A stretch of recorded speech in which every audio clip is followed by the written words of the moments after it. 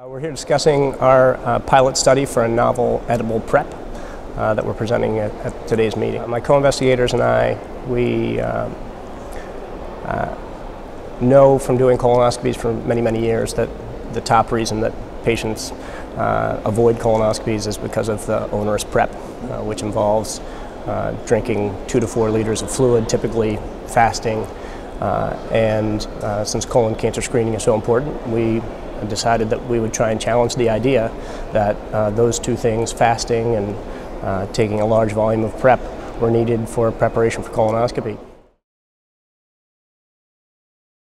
So we set on a pilot study of 10, of, uh, 10 patients and uh, involves a new product which uh, takes uh, purgatives that are incorporated into a nutritionally balanced menu that patients took over the course of the day uh, and the day before, uh, the day of and the day before their colonoscopy.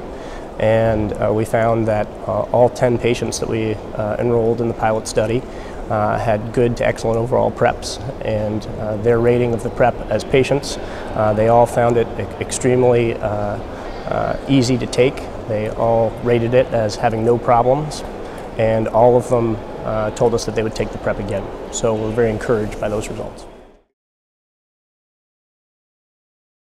There were uh, three components to the prep. We used uh, PEG 3350 and sorbitol and ascorbic acid that were incorporated into the foods.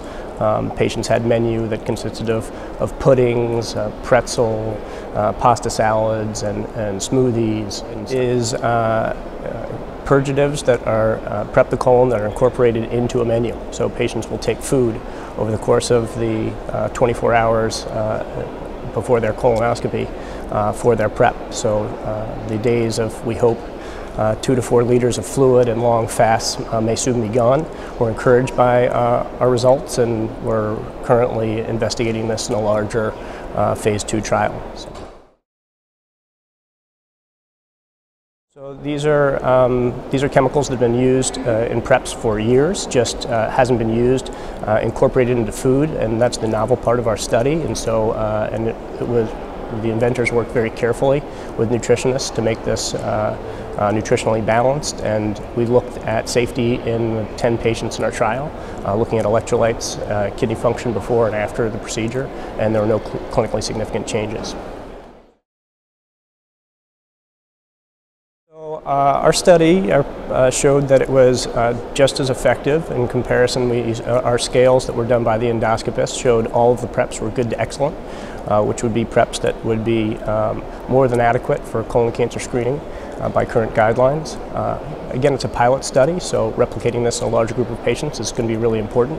But so far, we're, we're very impressed with, and, and we started actually with some very moderate expectations, and we're really pleased uh, that uh, all the 10 patients we enrolled uh, at first had very good results.